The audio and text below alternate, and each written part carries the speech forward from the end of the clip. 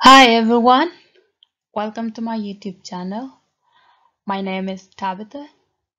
Today we are going to talk about general journals. What are general journals? General journals are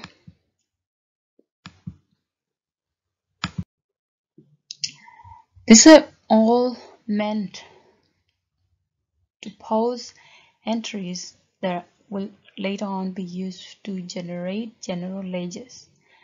So, and these general journals are appropriate for those entries that do not have specific journals. Things like maybe account payable journal, account receivable journal.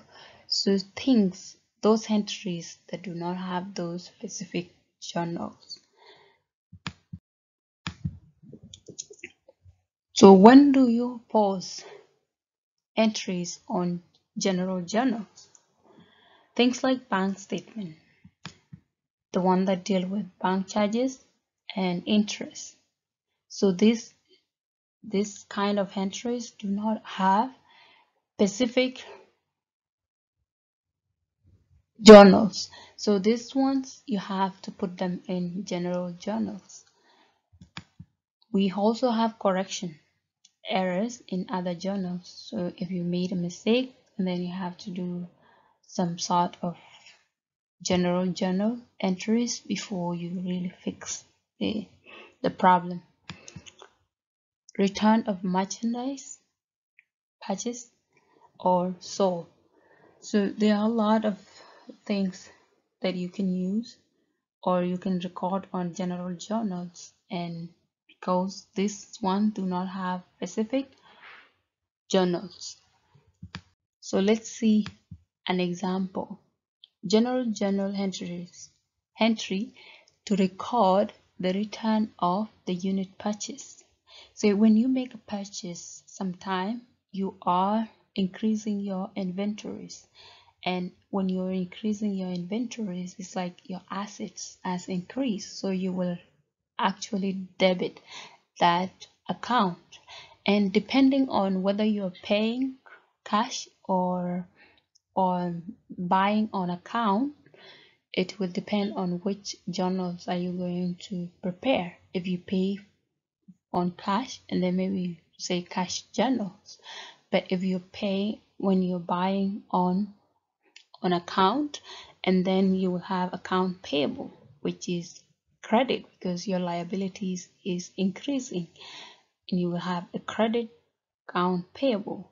But after you get the item and you don't like the item you will decide to return the item which means your purchase will be reduced and that will be like a credit and your account payable you will have you will have you will have no account payable to pay. So your account payable will be reduced and if liability reduce and then you you debit. So let's see an example of unit that were purchased and then now they are ready to be returned. What do you need to do to record that general journals so this is like an example. So you had bought three set here. You so you had bought three set of of modular office unit and installation right?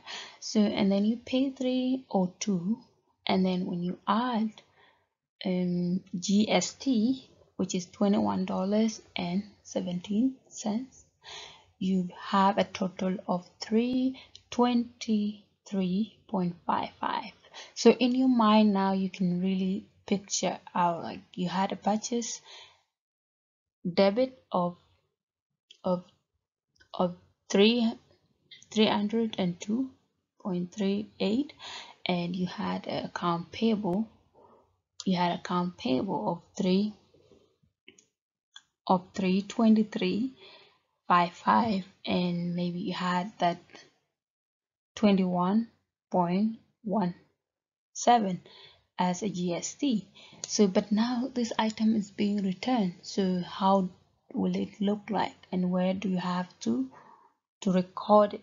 So where you will record it it will be on general journals because you cannot record it anywhere else. It's a return purchase return. It's a different account. It's not purchase but it's purchase return so this is how general journal will look like. You have you will have a date and then description and you have account number you have a debit and a credit on the general ledgers side. So let's see. So here this is how it will all look like. You have to put a description. So on the 20 January 23rd, you decide you're returning the item. So what will you record on your book is account payable office product in will will be debit because now this liability has decreased. You are not supposed to pay it again because we are returning the items. So when your liability decrease, you have to debit. So it's three 323 0.55 and now come back to purchase return and allowances. So the account number is 5010 and you credit the amount of 302.38 why because you're returning the items and now it's no longer part of your asset. And if asset decrease you credit them and you will record the GST input tax credit receipt which is like $21.17 and this is the end of the video guys and thank you for watching and I will see you next time. If you haven't subscribed to this channel please subscribe. Thank you